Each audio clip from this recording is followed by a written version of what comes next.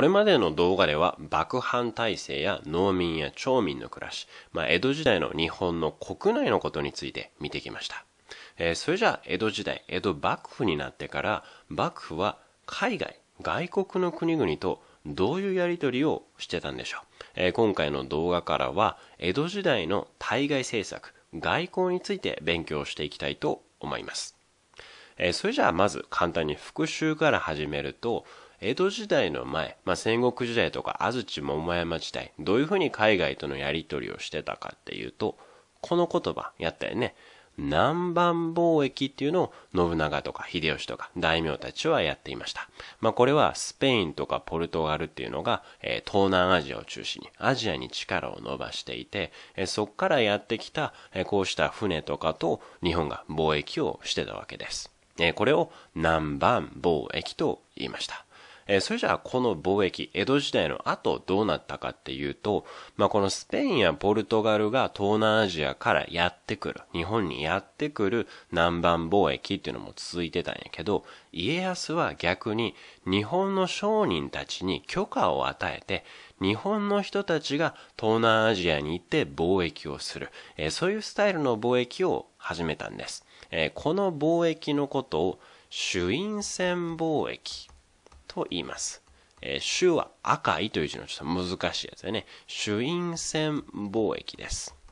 えー、これなんで朱印船貿易っていうかっていうと、えー、その家康が、幕府が与えた、えー、商人たちに与えた許可証のことを朱印状と言ったわけ。朱印状。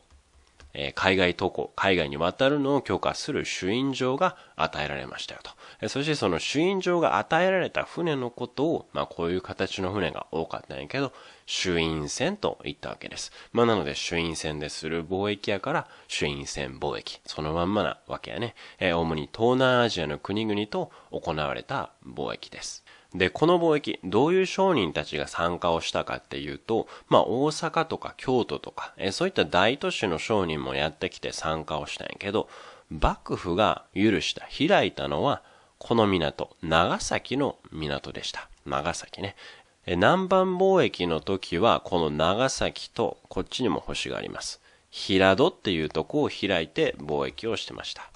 ちょっと小さいから大きく変えとこうか。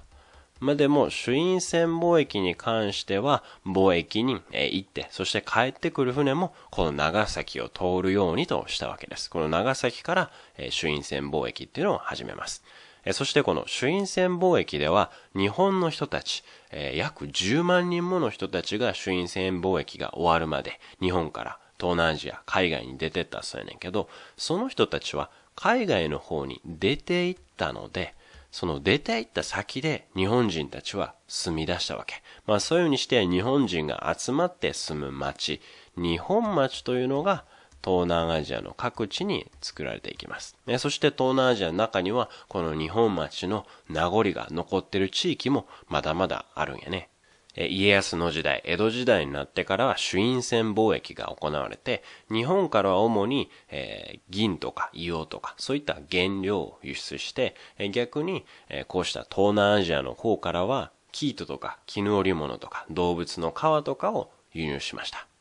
え、そしてもう一つ江戸時代になって起きた変化っていうのが、南蛮貿易の時はその主役、相手国っていうのはスペイン、ポルトガルやったわけね。まあ、ところがこのスペイン、ポルトガルの力っていうのが、まあ、世界的に見ても、ね、特にアジアの方で失われていくことになるんです。えー、まず1581年、まあ、これはヨーロッパの話やね、スペインからオランダが独立をします。そしてこのオランダも、自分自身の力でもって、世界に植民地を広げていくようになるんやね。さらにその7年後、1588年には、スペインの海軍は無敵艦隊、もうどこにも負けない無敵艦隊と呼ばれてたよね。ところがその無敵ちゃうやんと思うかもしれんけど、無敵艦隊がイギリスの海軍に敗れてしまうんです。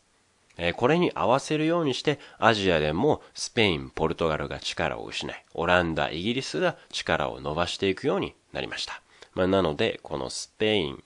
ポルトガルから、まあ、貿易の相手国がオランダやイギリスに変わっていくようになります。えそしてさらに家康は、え日本にやってきたオランダ人、えー、そしてイギリス人を外交顧問にします。まあ、外交顧問っていうとちょっと難しいかもしれんけど、外交は外国とのやりとりだね。まあ、顧問は相談役みたいな感じです。まあ、なので、えー、家康は外交、海外とのやりとりについて、この二人に相談をしたわけです。えー、それがオランダ人のヤン・ヨーステンさん。ヤン・ヨーステンです。ヤン・ヨーステンね。えー、そしてもう一人がイギリス人のウィリアム・アダムズさん。ウィリアム・アダムズ。そしてこの二人は、カッコに書いてるよね。えー、これで、ヤヨースと読みます。そしてこっちは三浦安人。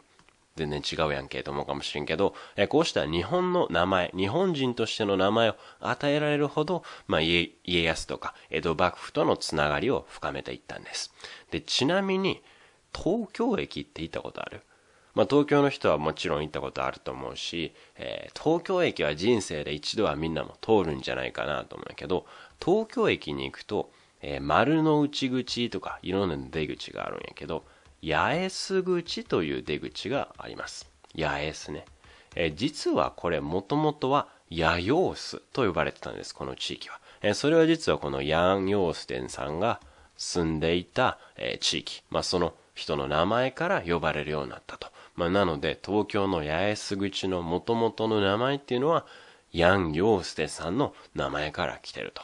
まあ、それぐらいこの二人っていうのは日本に根付いた人々だったんです。まあ、なので、ちょっとここ飛ばしてしまうけど、1609年、1613年には、オランダ、イギリスっていうのが、この二つの国が、えー、平戸に召喚を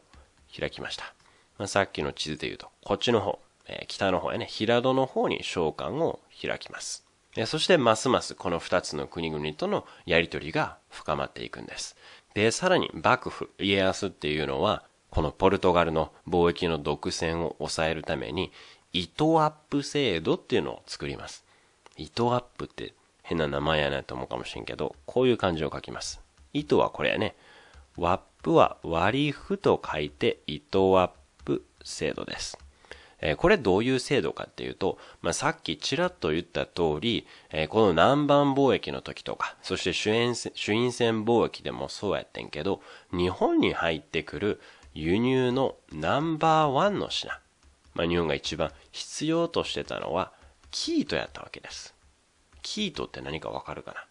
まあ、これ、蚕っていう、まあ、虫から取れる、えー、絹とかの原料になる糸です。えー、これを、えー、ポルトガルとかっていうのは中国から輸入をして、えー、そして大量に輸入した生糸を今度は日本に売りつけると。まあ、そういう貿易をしてたわけ。まあ、こういう貿易の形を中継貿易と言ったりするんやけど、ポルトガルはこの中継貿易、キートの中継貿易で莫大な利益を上げてました。めちゃくちゃお金を稼いでたんです。まあそれなんでかって言ったら、他の国はあんまりキートを扱ってなかったし、日本もキートが欲しいから商人たちもうちにキート売ってくれってたくさん欲しがるんやね。まあそうすると、ポルトガルはもう自由に値段を決めれるので、中国からは安く買ってきて、日本に高く売ると。まあそこでたくさん利益を上げてました。まあそういったポルトガルの貿易の独占、えー、お金稼ぎを防ぐために、家康はこの糸アップ制度っていうのを作ったんです。えー、どういう制度かというと、えー、ある特定の商人だけ、ある商人のグループにだけ、あんたらだけ、このキートの輸入、販売をしていいよっていう許可を与えます。まあそうなると、日本でこのキートを扱える商人は減ってくるので、なかなかポルトガルも自由に売れなくなってくるんやね。値段を決める権利っていうのも失われてきます。えそしてさらにこの頃にはオランダ、イギリスとの仲が良くなっていたので、ポルトガルよりも、え貿易の面でこのオランダ、イギリスを優遇しました。え優先しました。えというわけで、だんだんと南蛮貿易の主役だったスペイン、ポルトガルから、え、貿易の相手っていうのはオランダ、イギリスに移っていきます。えそしてさらに時間が経つと、このイギリスっていうのは世界中に植民地を持っていて、えその中でもインドっていうのを一番重要重要な、え植民地と考えてました。そのインドの経営、インドの支配に専念するために、イギリスっていうのはだんだん日本を離れていくことになります。そして最終的に日本の主な貿易相手国っていうのはオランダ一国になっていくわけね。江戸時代初期の貿易、外交というのは、こういうふうに変化を遂げていきました。